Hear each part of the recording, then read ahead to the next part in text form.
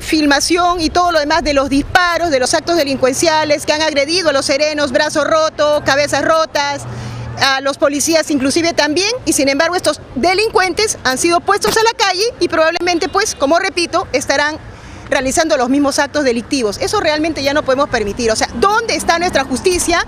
Y es por eso que muchas veces la población ya no cree realmente en nada, ¿no? Hecho, los señores han sido llevados Pues sí, eh, vamos a seguir todo el camino este, legal.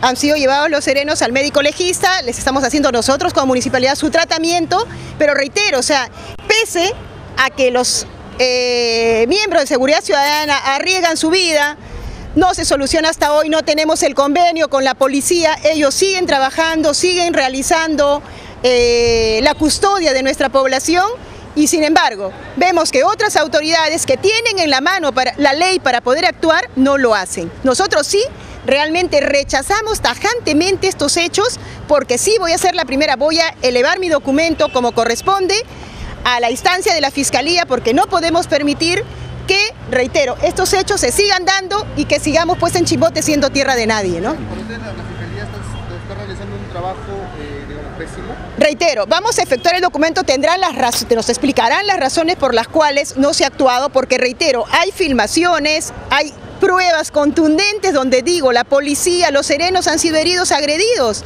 O sea, y no pasó nada, no puede ser posible. Hemos tomado conocimiento que ya lo soltaron a estos tipos, están otra vez en la calle y seguimos en lo mismo. O sea, ¿de qué vale que nosotros trabajemos, que custodiemos, que se actúe si realmente no se va a dar como corresponde y de acuerdo a ley las sanciones, ¿no? Gracias, alcaldesa, alcaldesa.